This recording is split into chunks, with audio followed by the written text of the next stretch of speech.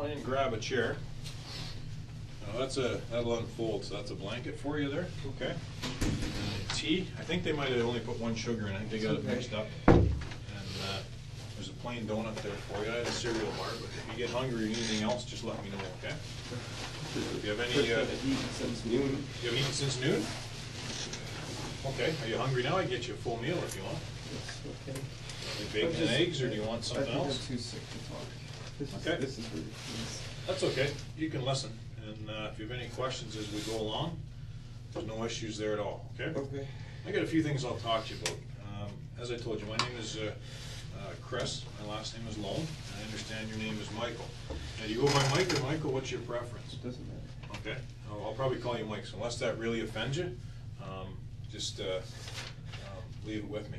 Now, you should have any problems with my name, because your middle name, one of your middle names is Christopher, so I know you'll have no, uh, no issues with uh, remembering my name. Uh, How come you got more than one middle name, do you know? I don't know. It's my uncles and my grandfather. I got uh, three middle names as well. And that's for, because my parents thought I was gonna be an only child, so they named me after everybody. So I got named after a grandfather and two uncles, so I know what you're, I know what you're going through there, because my initials I get teased about. But uh, I'm gonna go over a few things here today, okay, Mike? Uh, Like I say, don't be shy. Uh, You'll find I'm pretty relaxed, pretty laid back, because I've dealt with this, these types of issues before, okay? Um, I know that uh, earlier tonight that uh, you've had an opportunity to uh, um, have your rights read to you, which you understood, and you understand your caution, you don't have to say anything, okay, to me or any other police officers. And you had an opportunity to speak with the lawyers, so there's no issues for, uh, for any of that. Now, having said that, though, anytime that you have a, a question, all right, don't be shy. Now, I have no issues getting you any food there, so if there's something that you want, okay, I'll get you some food, there's no, no problems at all. Like I say, I get that for you in about five minutes, so. um, But my job is, as I mentioned to you earlier, I'm from what's called the behavioral sciences section.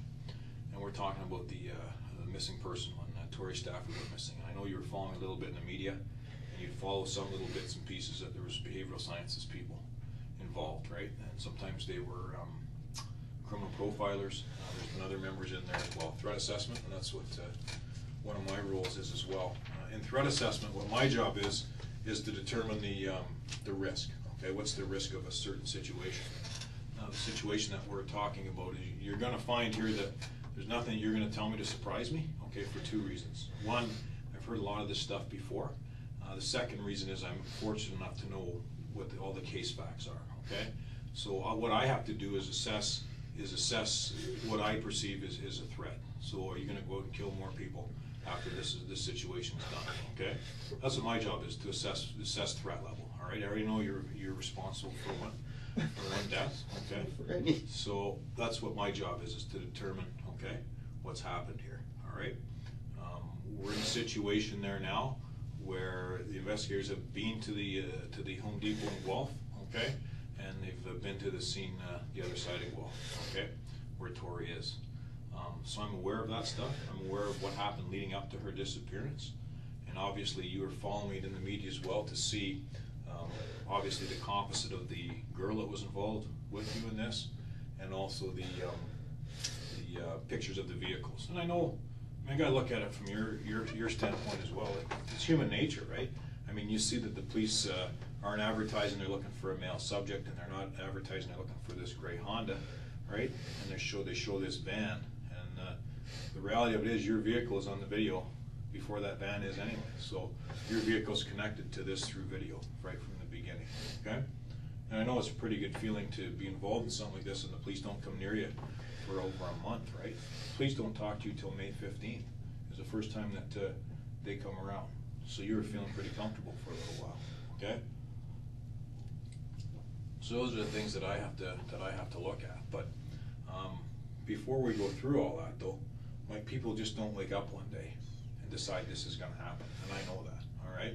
So there's a lot of ideas that go in people's heads at the time, and, uh, um, if, if I go through, and I, and I have, I go through your history and your background, there's not a whole hell of a lot you've been involved in in life, is there, right? You're completely under the radar, okay, you've flown completely under the radar your whole life, I think you're involved in some, uh, vehicle thefts and stuff, bringing in some vehicles years ago, right? When you were a kid, and we've all done stupid stuff, never done any of that. I can't look you in the face and say I haven't done it. Well, you already told an officer that you did that, right? That you No, broke into some I didn't cars. say that's what I did. What did you say? I said we went into cars that were unlocked and took things out of them, and that was it. Okay, I used the, okay, I used the term break-in, okay? Now, the reason I say that is back when I was a detective, when you go into a car or a house where it's locked or unlocked, that's a break-in, okay? Because you're not supposed to be in there. So that's where that terminology came from, okay, Mike? But, uh, anyways, I gotta go through a few things with you here, all right? Obviously, you're, uh, you're upset by what's going on. You're here for a reason, and right back at the beginning, the investigators and the case manager, the officer in charge said that I'm gonna follow the evidence and go where the evidence leads me, okay? And now you're here because the evidence is, has led the investigators to you, right? And then I get involved after, after that. There's been people that I work with uh, in behavioral sciences that have been here from the outset of the investigation. But um, really, at this, at this point in time, I mean, when I go in and look at uh, your history, there's very little on there. Like I say, you've flown under the radar, you haven't had any major problems with the, uh, with the police, okay? But now all of a sudden, you're involved in this situation, it's a serious situation, and it's a scary situation. I'm sure you're, you're quite upset and quite concerned about what, uh, what's going on here, all right? Now, the last one I was involved with like this, I don't know if you're aware of it, was a girl named Holly Jones in Toronto, when she went missing. And the guy that uh, had abducted her, his name was Michael Briere. And what he, he was doing is he was watching uh, on his computer for hours and hours and hours. He was looking at child porn to the point that he decides, I want to go try this. And he goes and he grabs Holly and does some things to her. And then he realizes, what am I going to do? Okay? And he panics. He doesn't know what to do because she's a witness now. And he says, if I just let her go, she's going to tell on me. So he decides that he's not going to let her go. All right? And all that was from something as simple as watching child pornography for hours on end. These things happen, okay? And we can't say it happened close to home. Toronto's not that far from you, okay? These things happen all the time, all right? So what I need to do is sit with you. Um, I already know how. I know the who's, right? Uh, why? I mean, why is up to you, but I can actually probably fill in that blank for you. But that's not what my role here is. If I'm going to um, assess risk here and see number one, do you even feel bad about what you've done? That's the first thing I look for. And number two, do I think, okay, he doesn't feel bad, so an attorney's probably going to do this again because he really doesn't care about it the first time it's happened. Okay. But I also know that you've probably made some uh, some other choices in life into uh, who you associate with, right? We've all done that. I mean, we've all brought home a girlfriend or a boyfriend or something that uh, people aren't going to approve of, and we've all had friends that our family's not going to approve of. I've done that. We all have. Okay, so that's what we have to sit and uh, sit and look at here. But uh, it, it's uh, uh, one of those things that, like I say, I'm not I'm not at all. Um, upset with you. I'm not mad at you. Um, I don't mind sitting here talking with you. You'll know if I don't want to talk to you because I'll just simply leave, right? And uh, I have no issues with that.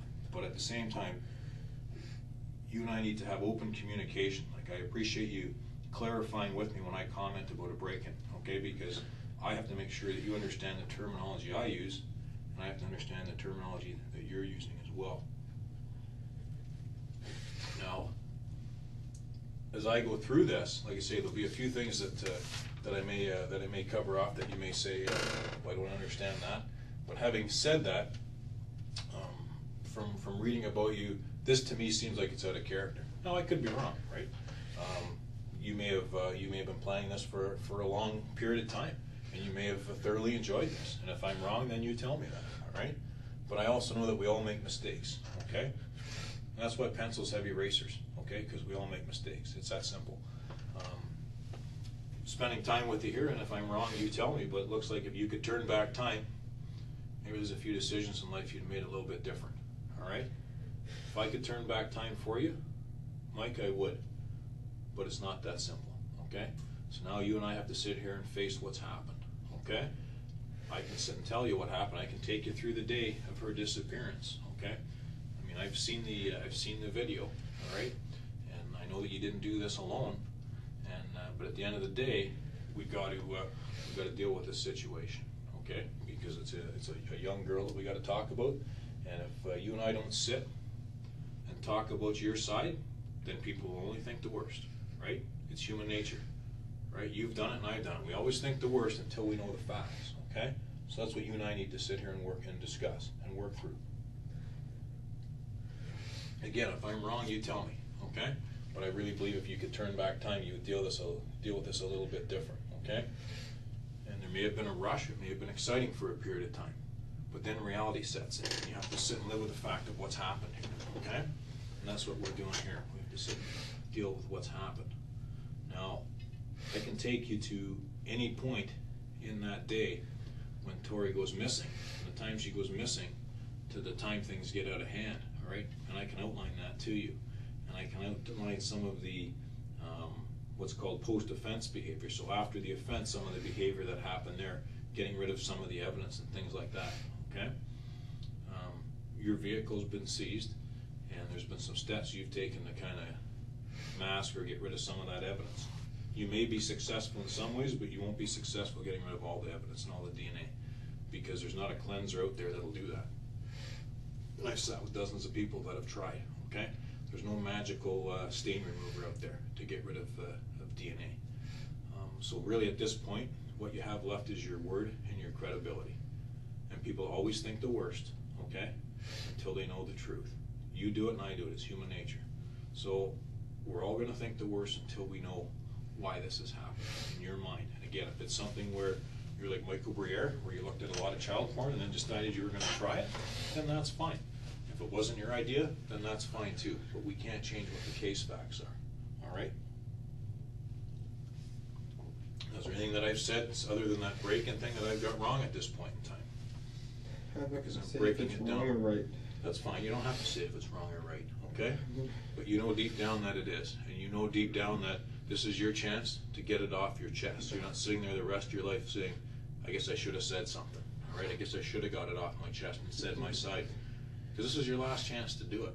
The fact that you're here, and the fact that uh, um, they've already, uh, um, they know where, where the victim is, okay? And they know your steps, this is it. Do you watch Ultimate Fighting at all? No. You don't watch it? Okay. Um, You have to take the steps now to live the rest of your life, okay? This is what you have to do. You and I need to talk about this, okay? So I've gotta determine, as part of my job, when all is said and done here, do I think Mike's done? This is it, he's made his mistake, he realizes how wrong he, uh, the mistake that he made, and he's willing to look past it? Or do I have to sit here and say, all right, my report's gonna say very simple, I think this guy's gonna reoffend. I think this guy is gonna kill. Isn't that for people." courts to decide if I've even done it or not? The, the courts will decide if, uh, what your role is in this, in this particular case. My role is to write a report for the court to determine what I think your risk level is. And that's, uh, there's other reports, uh, that, that- that my units, uh, write as well. And that's what our job is, we deal with these types of situations and the, and the reasons why people do this stuff, okay? Um, Like I say, this may have been a thing that, uh, you just snapped and did something. That stuff happens, or it may have been something you planned for many months and got some enjoyment out of the plan. I Okay? didn't do anything. Well, that's not entirely true. either, That is entirely true. I No. I didn't do anything. No, you can try and cement yourself into that, okay? But at the same time, you're not doing yourself any good by not being truthful here, okay? Because by not being truthful, all you have left is your credibility, Mike. That's all you have left, okay? Um, You're not the only person uh, who's been arrested and charged, okay? And uh, there's no surprises left anymore, okay? The only, s- it's not even a surprise, it's why this happened. I'm also not the Why? only innocent person who's ever been arrested and charged. Well, and that's true. There's been people that uh, have been arrested for things where there's no evidence, but unfortunately, in this case, there's lots of evidence to determine your role in this crime, okay? Even the steps that you've taken to try and eliminate your involvement, okay? Clearly, uh, clearly, I guess maybe I should explain the evidence a little bit more. Maybe that, maybe that's uh, my mistake, but uh, because I'm so comfortable in the facts and that I've dealt with all this, maybe I should be making, you know, put you at ease a little bit more. But the reality of it is, as I mentioned earlier, your vehicle's seen on the video, okay? The girl who's, who's on the video who walks away with Tori has been identified, and she's been identified of, as her and Tori being in your car. And the three of you, you and her and Tori, uh, go to the Guelph area, go to the Home Depot, okay? Grabbing of, uh, of Tori, there was a, was a planned event that you were gonna grab her, you're gonna grab a girl. Um, but this other person was going to do it, and the other person got the girl, put her in your car, all right? And, and then there's other steps that are taken from there, okay? There's things that happen at Home Depot, there's things, things that happen outside of Guelph, and there's things that happen to Tori, all right? Before she's gone, and, uh, you're involved in that, and you can't, you can't mask that, you can't change it, okay? No, no, no, no. Because what's happened has happened, I can't turn back the hands of time, and neither can you, okay? There's, uh, there's nothing I can do to turn back the hands of time and say, I wish Mike would have reacted to this situation a little bit differently, okay? Um, There's been tips come in on you sooner than, than recently, there's been, there's been a few tips, there's been a few people that have mentioned your name in the past. When all these tips are put together, then the ball starts rolling. Um, And then the fact that when they dissect these tapes, and they also go in both directions of the tape, they go before they see Tori, and they go after they see Tori. And lo and behold, there's your car, all right? And that starts it as well. So there's, um, and then after, and I think, I don't know if you're aware of it, how much media attention was given, but then they start collecting the videos from the highway, right, to see which vehicles went where. So the, the video is gonna play a very key role. Uh, Videotapes to evidence will play a very key role in this investigation in determining what happened, because there's cameras everywhere, right? The average Canadian is on camera eight times a day, whether we go to a gas station, whether we go to Tim Hortons, or we drive through a, a, a light that has a camera. Um, certain communities have cameras, uh, certain uh, weather stations have cameras, or news stations. So we will go through as Canadians, a minimum of eight cameras a day. So you, you go through cameras, as have I, we've all, we've all done that, there's no, no questioning that, that we've all, uh, seen these cameras or, or been on these cameras. But there's no doubt in my mind, okay? There's no doubt in my mind that you're involved in the abduction, okay, of Tori. No doubt in my mind at all. I followed the evidence, I've read the file, okay, there's no doubt in my mind. We're past that, okay? And the only concern or the issue that I have is why you did this. What caused you to do this? Was it something you, like I say, is this something that you've done before? And you've been involved in the death of other people and you enjoyed this? Am I sitting across the, the, uh, the desk from Paul Bernardo here? Am I sitting across from someone who's made a mistake? Okay? And that's gonna be the question that's asked of you, all right? I'll get you a bucket there, just a second.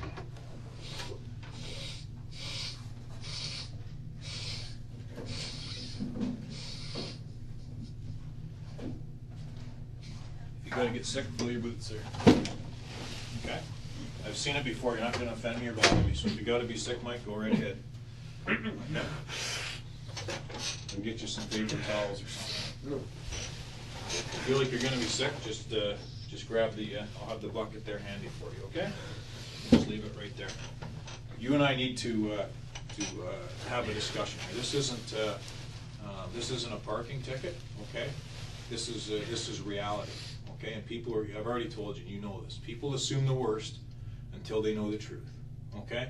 And people are going to assume the worst of you, unless you and I sit here and clarify it. Okay, something's pushed you to do this, okay? You don't, that you can't just fly under the radar your entire life, okay, Mike? It doesn't happen, it's not realistic, okay? I'm not gonna sit and tell you that it happens, something brings this on. And when you sit and talk to, uh, uh, someone who had a troubled life like, uh, Michael Briere and just gets pushed into doing this and panics and thinks, what would it be like to, to take a kid and, and touch and rub a kid? And then wish you could stop, okay? And people can't, and that's the whole issue here, all right? we can't control every emotion, all right? We can't control some of our urges, some of our thoughts. None of us can, okay? And I can't look you in the face and say I haven't made a mistake or made a bad decision in life, because I have. But the reality of it is, you and I have to accept that and move on, okay? Because I can walk out there and never see you again. Like, I can do that, right? My job here is done. The job here is done, as you'll find out tomorrow, um, as things start to, uh, to be released. Um, there is no more questions. There is no more long drawn-out investigations. They're already sending people home to spend time with their families, okay? They're scaling back what's happened because it's been cleared and they know what's happened. The pieces of evidence have been gathered. So that's, that's reality. I can't downplay that. But you and I need to walk out of here together, okay, with what happened here. You and I have to sit and say, this is what pushed Mike over the top. This is what pushed Mike to get involved in something like this. Because if I don't, then you sit here on your own and you have to take it, Okay, and is that necessarily fair? All right, I have to sit here on my own anyways and take this. to an extent you do, yes. You have to sit there and decide, am I going to get rid of this and get this off my chest so people understand my side, or am I gonna sit there curled up and, uh, and keep it in for, for the rest of my life, all right? You need to be realistic about this, okay? You have no battle plan to deal with this, right? It's happened, it's spun out of control, and you're thinking, okay, if I ever get caught for it, what am I gonna do? Well, your, your plan isn't gonna work, okay, cause you're not built for this shit. This isn't what you're about, okay? You're not some sick bastard, right? That, uh, that sits there and gets enjoyment out of hurting people, all right? So now you have to live with this, okay?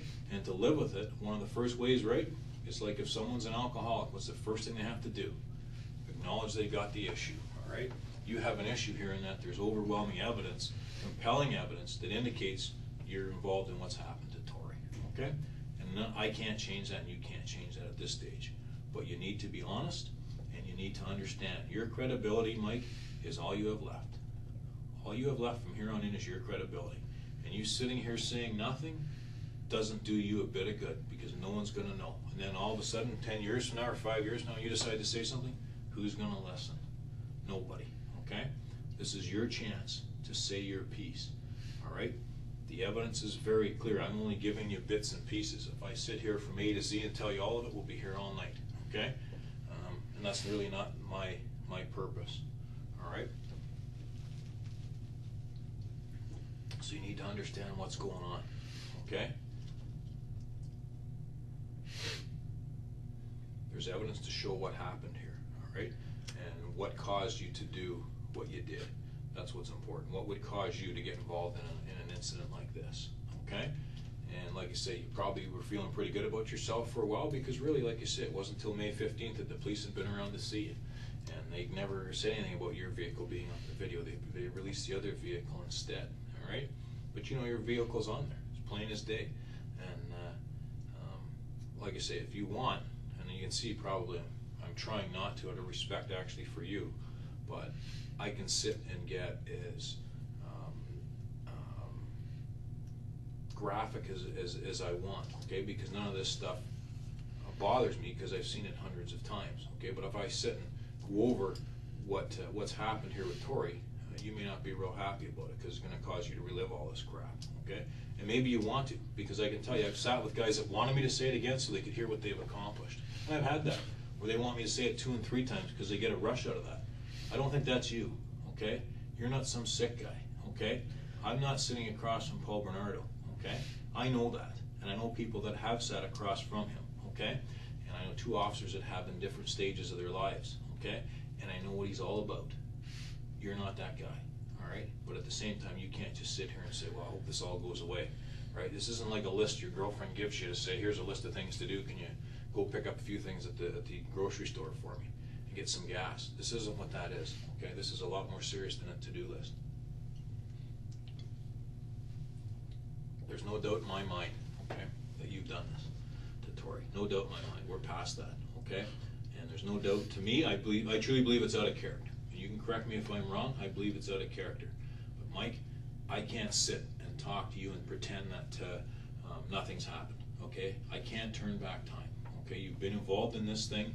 Um, along the way, there's been some, uh, some decisions made that I would like to think you would take back, okay? But again, I, uh, I believe this is out of character from, for, for you. I could be wrong. Like, I, I don't think you feel, you feel very good about this. I don't think you feel very good about what happened to this girl. And I'm sure that every day you've had to deal with this stress, all right? Now we need to understand what pushed you to this point. What caused you to do this? Like, what would, what would cause you, who's flying under the radar, who are actually, you're actually a quite popular person when, uh, when the investigators talk to people. You're a very well-liked individual. There's not a bunch of people say a lot of bad shit about you, all right? There are some people that report that you might be involved in this, but there's not a lot of people that sitting there saying bad shit about you, all right? So that tells me that you have some people that respect you and some people that like you. But that also tells me, again, that this must be out of character for you, okay? As soon as I sat and uh, talk about people that have been involved in uh, killing more than one person, you get disgusted, okay? You may well be disgusted with me, or you may be disgusted with the thought of the whole thing, okay? But that's not what you want to hear. You're disgusted by that. What does that tell me? It tells me that you're not the type of person that wants to go and kill a bunch of people, okay? But we need to deal with reality. And the reality of it is, your credibility is all you have left at this point. If you sit there and say nothing, everybody's going to assume the worst, okay? And you may be painted with a picture that you're not real happy with, okay? And I'm the only one that feels like sitting in here with you, right? There's no investigators lined up in here sitting with you. Why do you think that is? Right? Because they've been working at this for, for weeks, okay? They're tired and they've been away from their families and none of them wanna come in here and talk to you, okay? I have no issue with it. I'm neutral. I don't have these issues. I haven't been away from my family. I don't mind talking to you, Mike. I've talked to people that have, uh, been involved in things far worse than what they're saying you did here. Far worse, okay? I can sit and list the things that I've been involved in. There are people have done things that have been a threat to our national security, terrorism in Canada. Um, or I've dealt with people that have uh, been involved in murdering more than three people, all right? I've been involved with people who have abducted and taken life of children. I've, I've been involved in. I've dealt with many people who are sex offenders that habitually and repeatedly uh, touch and molest children. I've dealt with that. It does, that stuff doesn't bother me, okay?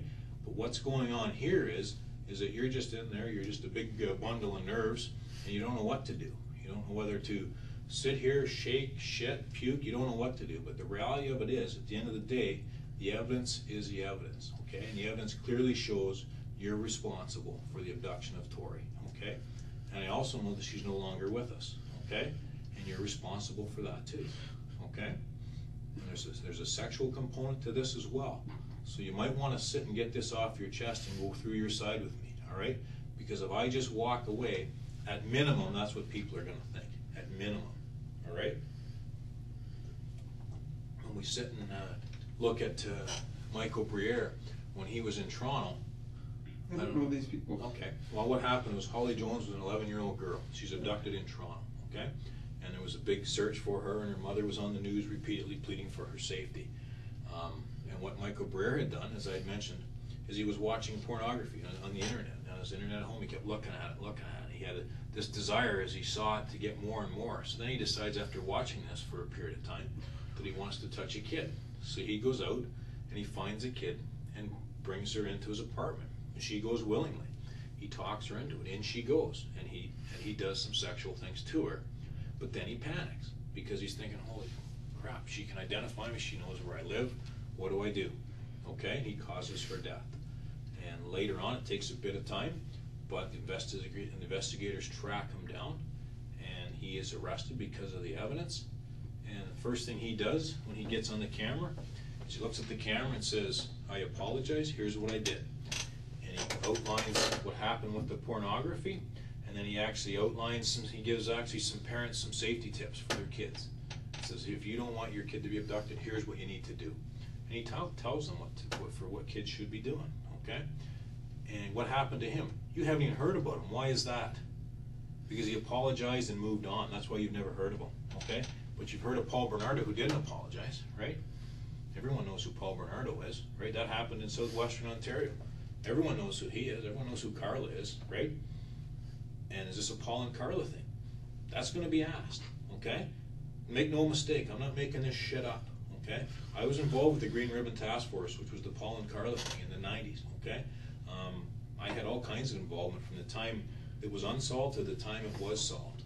But no one's ever heard of Michael Briere for the reason I just told you, all right? But they sure as hell know who these other guys are, right? And it's the same as it's the same situation you've been in. If someone, uh, a friend of yours, lies to you, or someone rips you off for, for fifty bucks or twenty bucks, right? And you catch them. You say, "Listen, why did you take my money?" And the guy says, "I didn't take your money," right? You're pretty pissed off with that guy. You know what, Mike? I took your money. I apologize. I was, I was gonna, I was gonna pay you back, but you came and I panicked, so I took your money. You can live with that, all right? But you have some explaining to do. Okay, that's reality. I can't change that. Okay. If this is something that got out of control, that you just planned on taking and you thought you were gonna put her back, or just take her for a ride, that's fine. It got out of hand, then we need to talk about that, okay? You need to sit and explain that and say why, okay? If not, then I say, people think the worst until they know, all right? That's human nature. You and I have both done that in our lives. If we don't know the facts, all right, people can think the worst, and this is what you have to deal with, okay? This is reality. Um, there's uh, even steps that, uh, you know, things that you've done to your vehicle to try and conceal the crime. Um, like I say, you just can't, there's no magical stuff that washes away DNA or gets rid of DNA, okay? And keeping in mind, a lot of the stuff that you did is on cameras in other spots, okay? I mean, Home Depot has all kinds of cameras, okay? Um, parking lots and inside the store, so, um, even if you don't go into the Home Depot store, there's still cameras in the parking lot for security reasons and for thefts and other reasons, so this case primarily is solved through cameras, all right? But also, there's other things, I mean, uh, you didn't do this alone, as I've told you. I never told you who was uh, who was with you, though I know, and uh, I know uh, know what her her role was in this. Okay, and I also know it was your uh, was your vehicle.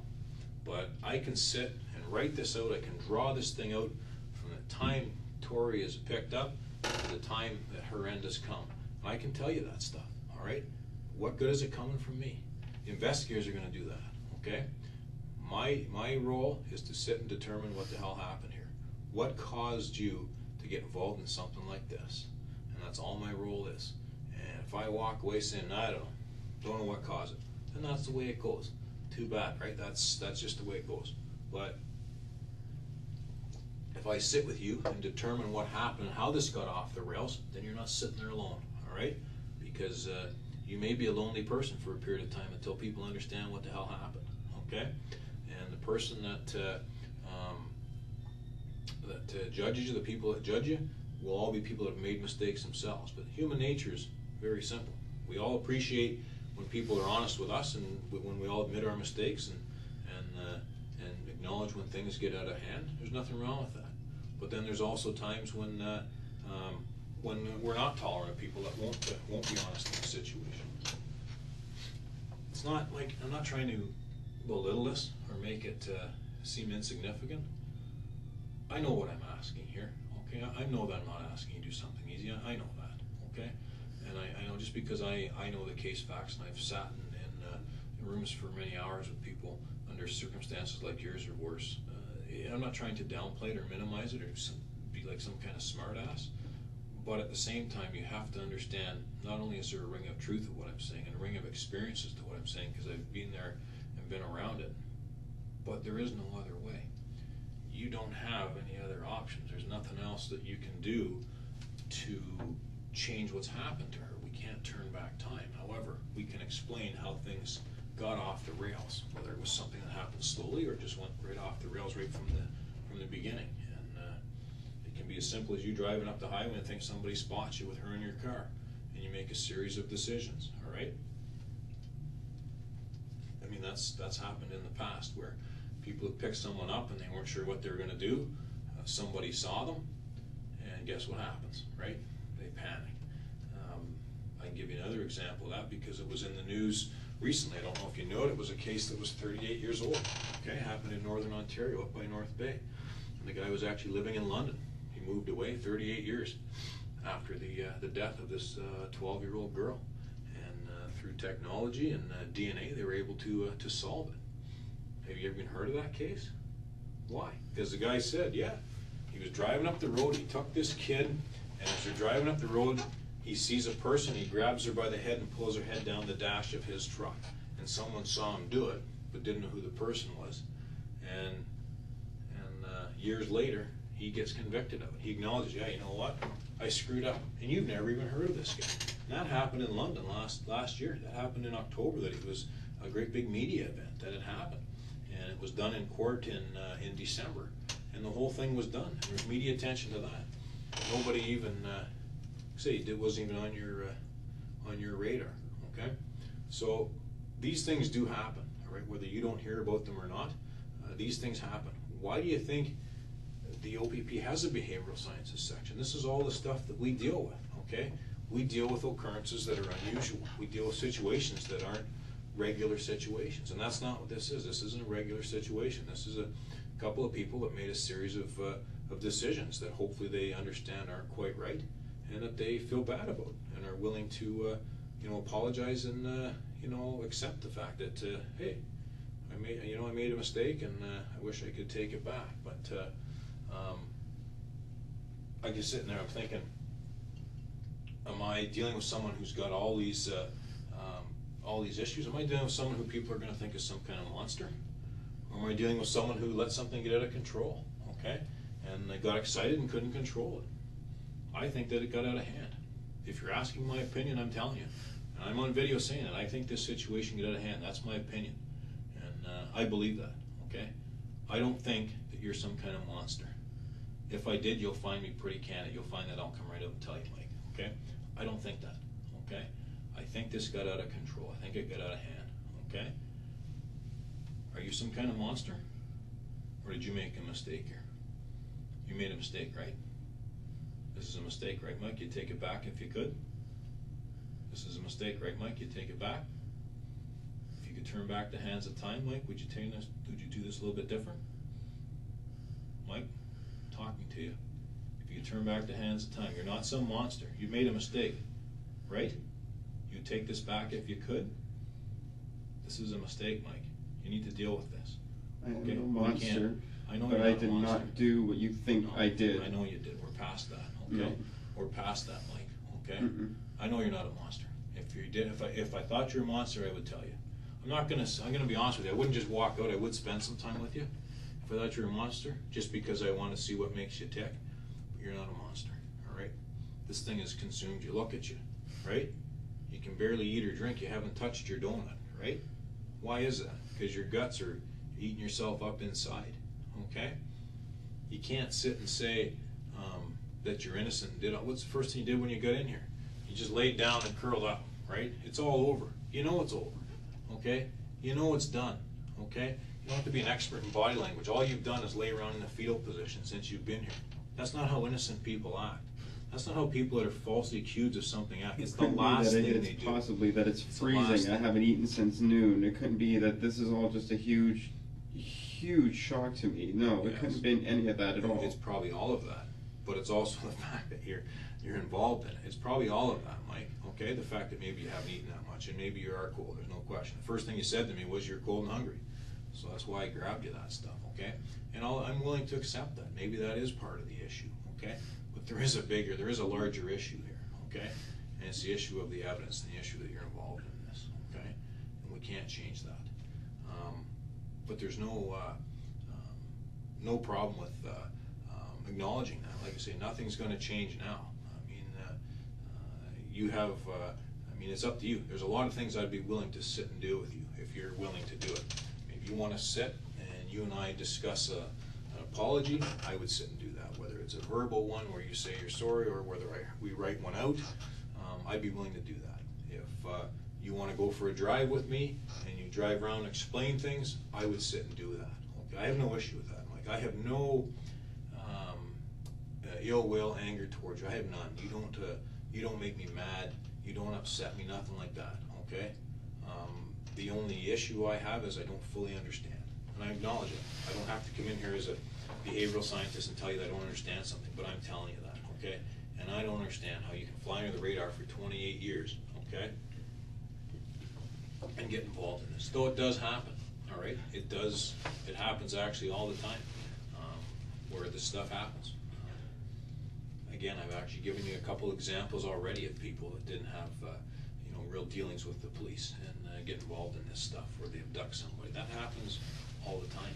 Sometimes it's, it's as simple, one of the most common ways uh, an abduction happens is through hitchhiking, where someone's hitchhiking, someone picks them up and they realize, oh shit, and they just decide to keep them for a period of time. That happens all the time. Happens in Ontario, happens across Canada, okay? This one's a little bit different because, you know, the girls uh, picked up the, uh, well, Terri, let's call a spade a spade. Terri picks up uh, Tori, brings her to your car, and you guys drive away. That's reality, okay? Um, can't change that. Uh, that's a different kind of abduction, and, I, and I've acknowledged it. It's unusual, okay? It's an unusual kind of, uh, of abduction, and uh, it's not uh, it's not uh, normal. Um, I don't know how much you know about uh, Terri, um, but uh, anyways, she's involved in this. We know that. Um, she's acknowledged this. We know that. Uh, she's already confessed and apologized to this. Uh, been there, done that. Um, so there's no real surprises here. Okay. The only issue is how the hell did this spin out of control? What's your side of it? Because I, I mean, we already know hers. But what's your side of it? And that's what I'm here to sit with you and talk to you about. Because I wasn't the person that talked to uh, to Terri. The other the other uh, officers did. I volunteered here to come here and shoot the shit with you because I've talked to people worse situations than you, okay? And like I say, you've been pretty respectful with me. Um, you're not giving me a hard time, you're not being rude to me. Um, so I'll sit with you because, uh, um, but you know, the reality of it is I can walk away and you're gonna sit and deal with this on your own for the rest of your life, okay?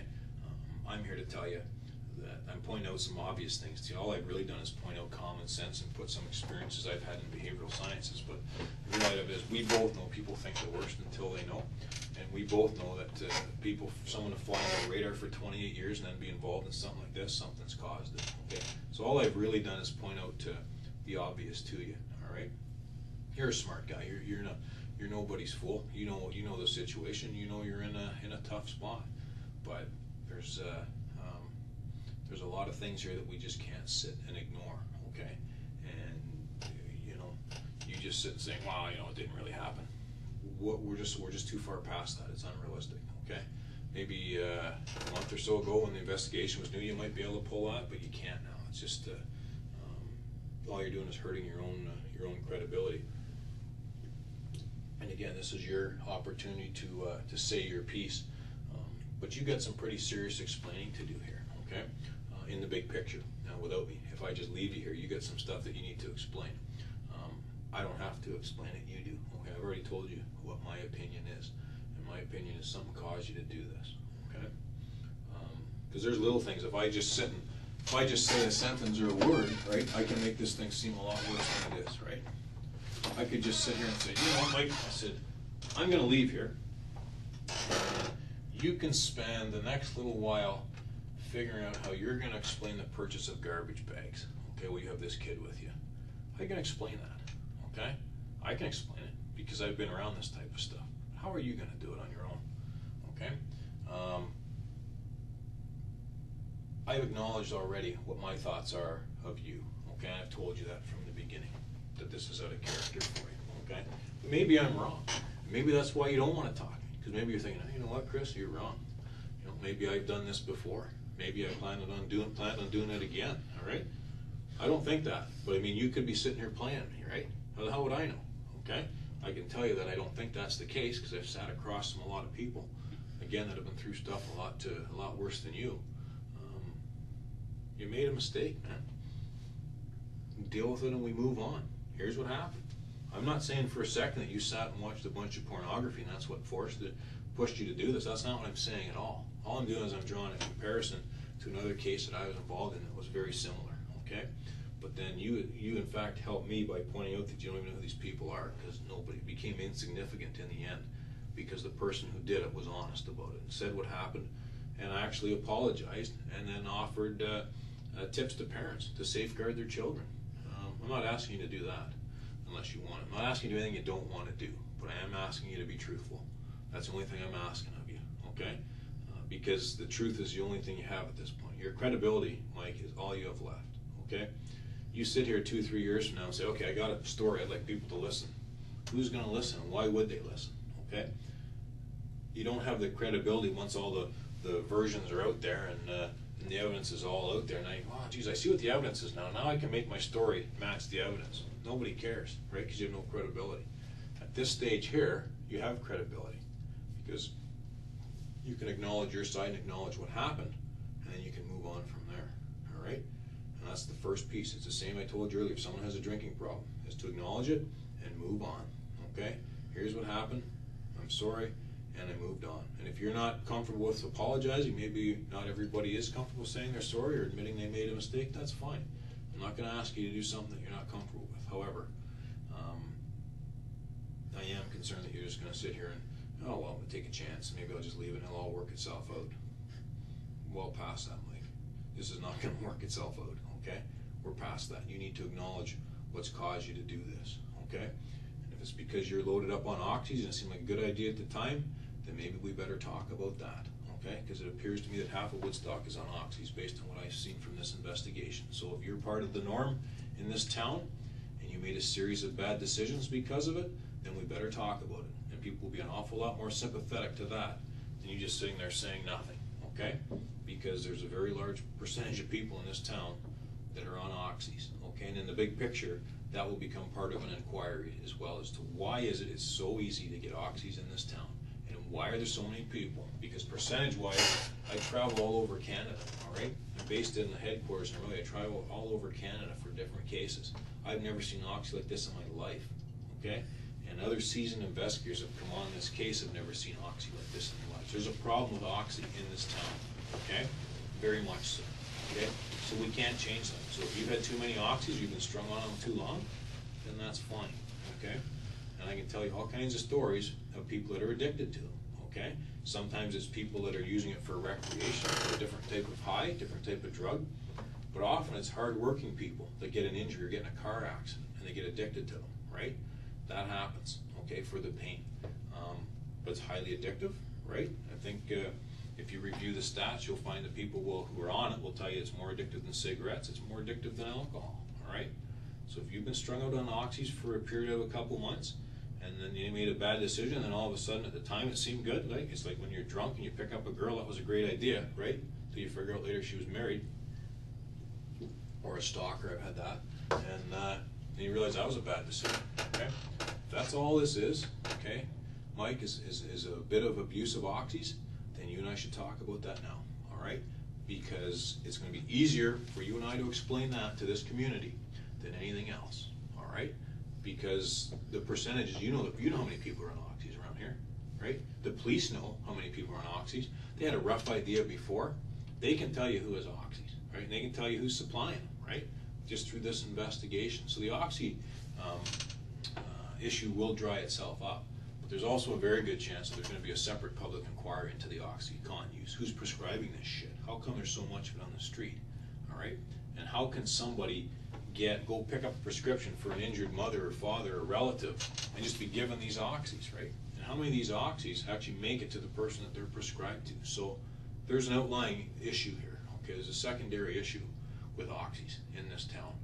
And if that's what this is, and you had too many oxys, you made a series of bad decisions, then why don't you and I talk about that? Because we can already show that the victim's parents are using oxys, right? They've admitted that themselves, right?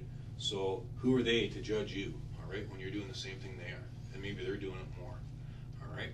Um, I'm prepared to sit and listen that you didn't brainstorm all this stuff and that uh, this got out of control, like I am, or I wouldn't be here, okay? I am prepared to listen to that, okay? But you have to, you have to also acknowledge that there's a problem, okay? And it's just like drinking. If you're an alcoholic, decide, the, the worst part of that is you're out driving a car, right? And that's one of the worst things with, with alcoholics, is the drunk driving. But you have to acknowledge it and move on. But you're no different than a large pe- percentage of people in this town, okay? And however you got hooked on them, was it whether it was through recreation, uh, or it was fun, or it was a source of income, then that's fine, okay? Because when you sit back, and I'm quite a bit older than you, and you go back, when I was in high school, if someone dealt a hard drug, they got many years in jail. They got years in jail, minimum five years to be deal drugs. When have you ever heard of anyone getting five years in jail for anything, right? They don't. So drug use, there's more drug traffickers out there now than there's ever been. And if one gets arrested for drug trafficking, two or three pick up that person's clientele and expand. So if that's all this is, is uh, a series of poor decisions uh, through the use of OxyContins, then why aren't you and I talking? That's what you and I need to talk about. If this is OxyContins, and I've sat here and discussed how people want to draw parallels to Paul Bernardo or some kind of monster, that's not right, okay? But only you and I can get to that, Mike, okay? Only you and I can get there. Because if that's all this is, is, is the abuse of OxyContin to the point that it messed your head up and you grabbed this kid, then we better talk about that. Because maybe there's a panic after you grab the kid. I didn't grab any kid. Well, the kid was put in your car, all right, Terri. So if you didn't grab her yourself, that's fine. We certainly drove with that kid in your car, okay? And that's the issue, and you're on video doing it, okay? So if you didn't grab her yourself, that's fine, okay? Uh, I can live with that. But what we have to do is explain what happened after the kid was in your car. And I'm willing to sit and do that with you, okay? Because your credibility is all you're gonna have left. And this might be the only uh, logical explanation, is drug use, right? Drug abuse. Um, you're not the creator of OxyContin, you're not the first person to use it, and you're not gonna be the last. However, it will dry up in this community in the near future, um, as a result of this. But, um, and I, and I never said for a second that you went and took that kid from the school, cause you didn't. But that kid was taken from that school, all right, by Terri and put in your car, okay? And you were there and, uh, and you were part of when the kid was dri- driven to Guelph, okay, in the Home Depot. And then from there, kid, uh, into the demise of the kid. This is the stuff we need to explain, okay? This is the stuff we need to acknowledge. I need you to be like you were, Mike, when I first come in. And you clarified, because it was me that screwed up. I was the one that said break into a car, because it was my terminology. You need to be the one that corrects me, okay? And you need to be the one that said, like I've, I said that you're involved in this abduction. Well, you know what, maybe I better be a little more clear with my words. Terri grabbed that kid from the school, okay? We know that. Um, For a number of ways. Um, There's a whole host of issues. Uh, Well, uh, plus the fact, well, she matches the comps, and she's on the video, and it's later determined to be her, and then she actually subsequently admits to it anyways, but, um, there's all kinds of evidence of that, and your car was on that video at the time.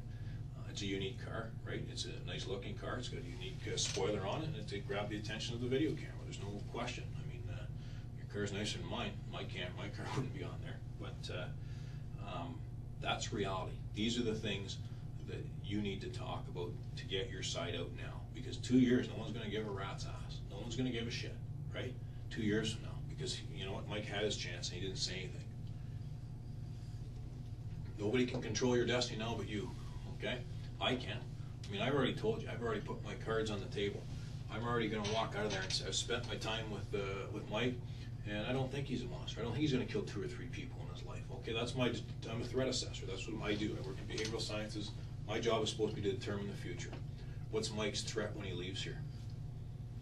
Mike's had his opportunity to say his piece, okay? And, uh, he's choosing not to say it, but at the same time, you've also been, uh, uh, polite and, uh, enough and, uh, um, I don't know what the other word, polite and you've been, you've been able, actually, you've been able to point out if I don't word something. I have no issue with that. In fact, I'm, I'm rather glad you did because it shows that you're paying attention and you understand. I want you to take this serious, right? I don't want you to think that, uh, this is all, uh, uh, this is all gonna go away, because it won't. And you have to acknowledge that, you have to know that. You're smart enough to know this isn't just gonna go away, right? You can't just wake up tomorrow and pretend it didn't happen.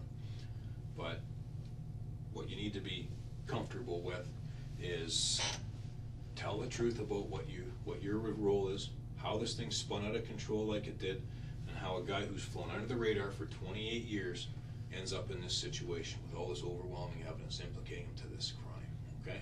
That's the issue. Uh, Again, I don't think that, uh, uh, I've told you that, I don't think you're some kind of monster, but we've gotten off the rails here. Somehow you got off the rails and got yourself into this thing, okay? And if it wasn't your idea, then I wouldn't mind hearing that as well, okay? But it's gotta be your words, Mike, not mine, okay? You don't need me to draw you a map or uh, draw a little story of what happened from the time that uh, she's picked up to the time that uh, she's gone. Um, I, I don't have to do that, the evidence is gonna do that. Um, But if that's all this is, is, is because of the oxys and uh, nothing else, then why don't we talk about that? I've talked a lot about, is, is it the oxys? Is that what the problem is here? Is that what's caused you to get I've involved in taken this? oxys, What's that? You taken don't- oxys. Yeah, I know you've taken oxys, yeah. Is that's what's caused you to make these, this bad decision, or is this what caused this poor decision to be made, or where it's spun out of control? That's what I'm asking you there. If it's the oxys, then that's what we deal with. Like I said, there's a large percentage of people in this town that are on oxys. Um, When I went out to get these coffee, there was two standing in front of Tim Hortons. I would almost, well, maybe if they weren't on oxys, they were on something, all right? There's a lot of zombies in this town. There's a lot of people that are abusing this drug, okay? That's what it is, and you joined uh, a large uh, population of this town using oxys, and you made a bad decision, uh, that's, that's reality. Because these people that are taking the oxys make bad decisions every day, they lie every day, they manipulate every day, right? That's, because that's how they get the, the drug to begin with sometimes. They may have uh, bills they haven't paid, they may have drug debts that they, they owe, they may have to fly under the radar for a little while and keep a low profile because they owe money, but. The only reason I'm sitting here is because I got involved with bad people. Yes, I agree with that. Probably worse people than you've ever imagined in your life, all right? Um, Yes, you did. Yeah, you did I don't know if you know how many of them that were bad or just how bad were they. I don't know at what stage you knew they were bad. But I'm gonna, I'm gonna ask you a question here. I'd like you to answer, and it's not gonna implicate you in anything. Um, Did you have any idea how bad these people were? No.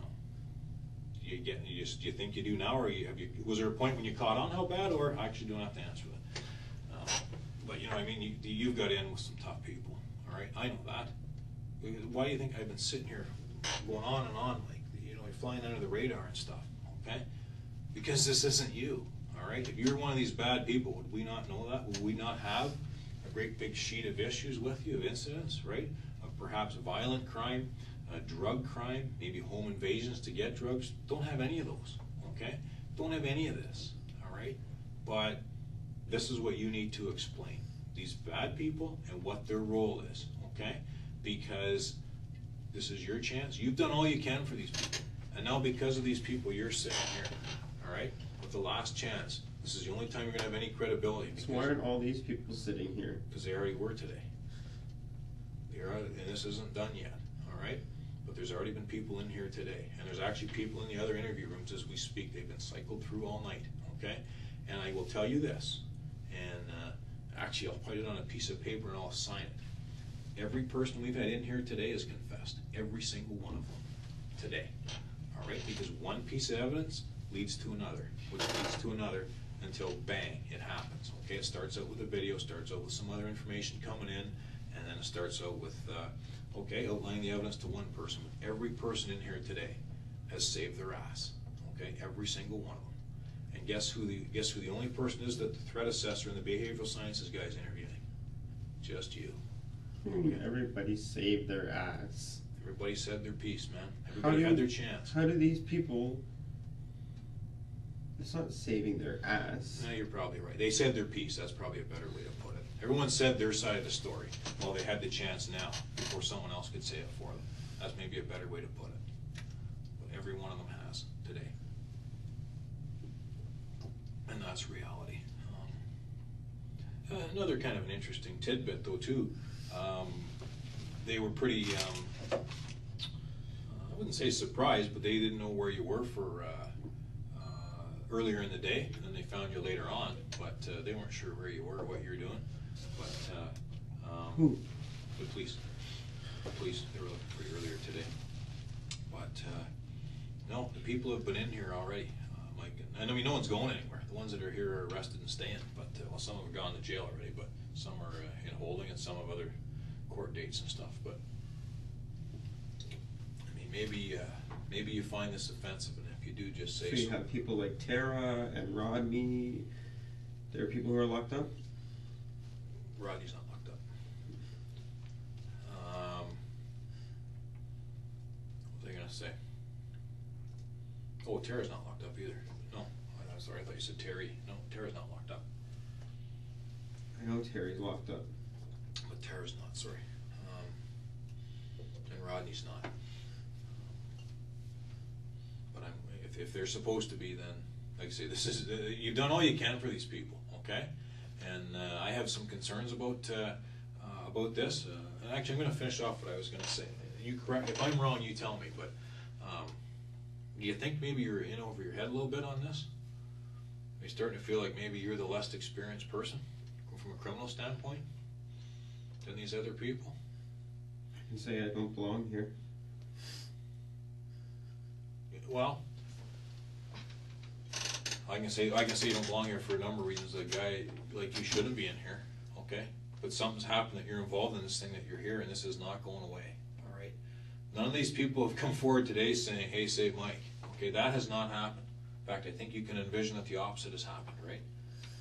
So now we better clarify some of this stuff, okay? Because uh, now's an opportunity for us to clarify what many people have thought's been going on from day one, okay? But again, you've done all you can for these people, all right? And now you're sitting here, all right? And uh, this is your chance, because I'm not coming back to you tomorrow or a week from now, there's no point, okay? Because there really isn't. Um, You're given your chance, and if, uh, if you're not willing to take it, there's your opportunity, then it's up to you, okay? Uh, Everything stays the same, the, the, um, the charges you're currently facing, the, the situations that you have, the court dates, all that stays the same, whether you and I talk or not, right? If I walk out of here, that's the end of it for you. Um, but I'm willing to listen, because there is more to this story, okay, and I know there is. And, uh, and I can actually, I can sit and tell you where the issues are that bug you, I mean, if you want me to do that, but at the same time, we have to acknowledge that, uh, there is evidence out there, compelling evidence that links you to this situation. And that's what we need to get to the bottom of, is how the hell did you get mixed up in this, all right? And I'm willing to listen to that, and I'm willing to have you, actually, I appreciate it when you correct me or clarify stuff with me, because it shows we're having a conversation, okay, and you're paying attention to me, all right? And I appreciate that you're paying attention to me, and I'm paying attention to you, okay? But we have to have a two-way communication between the two of us. Um, What should we be talking about? What do you think's gonna, what, what can we talk about, uh, in relation to this that, uh, uh, takes some of the heat off of you?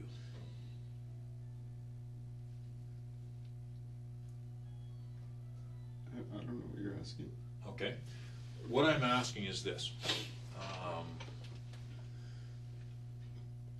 There's some, inf- you, you don't feel that you should be here, and I think we've acknowledged that, and I, I don't know if I was being rude, but I think you're in over your head, and I think you've been working or hanging around people that are far more experienced as criminals. You've been hanging around with criminals, let's, let's call it, let's, let's be, let's call a spade a spade. You've been hanging around with criminals, and there's really no indication that you are a major criminal, but you've been hanging around with some, right? And whether you've been manipulated, um, that's up to you to clarify. But, um, if that's what's happened, then you and I should talk about that. If you think that there's a discussion that we should have about, uh, uh, Tara, then we should have it, okay? Now's the time for you and I to have that conversation, as opposed to way down the road. Uh, if there's a conversation that we should be having about Rodney, now is the time, uh, or Terri. I'm sitting here willing to listen, all right? I'm not going anywhere, all right? I can get myself another tea, I can get a water bottle, I can just sit and talk with you, okay? Mike, but you've gotta, you've gotta, you've gotta kinda meet me halfway here, all right? And I'm willing to do that with you, okay? I'm willing to sit with you tonight, I'm not in any rush, but at the same time, um, it's gotta be, uh, where it doesn't make you look bad either. It's gotta be where your credibility shows that, hey, Mike's here and he's telling the truth, okay? So what I'm saying is if you're gonna sit with me, I don't wanna meet you part way, I want you to be straight